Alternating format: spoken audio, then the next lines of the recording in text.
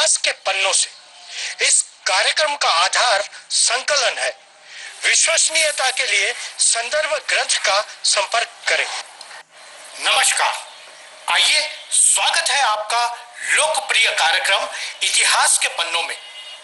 आए, देखे, सुने, सोचे, समझे और मनन करे क्या कुछ हुआ आज के दिन इतिहास के पन्नों में। क्योंकि आप तो जानते ही हैं इतिहास हमेशा अपने आप को दोहराता है। दिनांक 29 अगस्त, आज राष्ट्रीय खेल दिन है। सन सत्रह में मरम्मत के दौरान जहाज़ डूबने से इंग्लैंड में 1100 लोग डूबे। सन अठारह में गुजरात के जीवराज भाई मेहता इनका जन्म हुआ। सन अठारह में गुड ईयर टायर कंपनी की स्थापना हुई। सन 1901 में सहकार महर्षि पद्मश्री विठल विखे पाटिल इनका जन्म हुआ। सन 1905 में हॉकी के जादूगर मेजर ध्यानचंद इनका जन्म हुआ।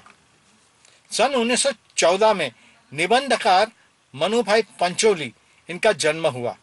सन 1929 में अभिनेता एटन बरो इनका जन्म हुआ। सन 1942 में साप्ताहिक कांग्रेस अखबार की स्थापना हुई, जिसका संपादक थे एन डी सबनिस। सन 1947 में भारतीय संविधान निर्मित के लिए महामानव डॉक्टर भीमराव अंबेडकर के नेतृत्व में एक समिति गठित की गई।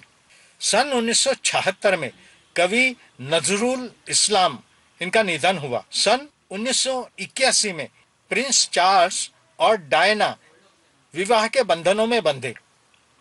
सन 2008 में अभिनेत्री जयश्री गड़कर इनका निधन हुआ।